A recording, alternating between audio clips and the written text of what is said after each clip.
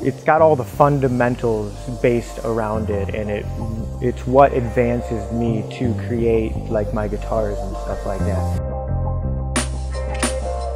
So uh, when I have a large tube, I'll pull a section off and make a handle off of the point.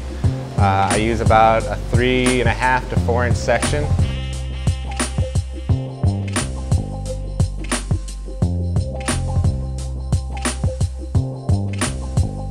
Start off, you know, in your middle section go to your neck. Once it's all heated, you'd do your neck stretch.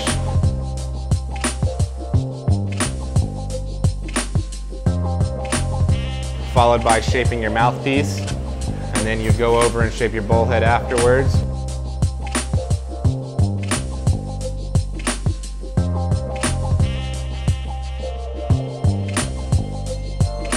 Once you have your bowl head shaped, you go and do your bull push for, um, yeah, do your bull push, any kind of dots or styles, a little grip that you want on the side, and then very last I use a carb and then flatten the uh, bottom of the bowl.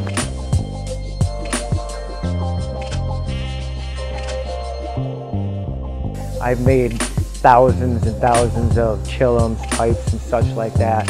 And every day or week when I go into a new batch, I learn something new.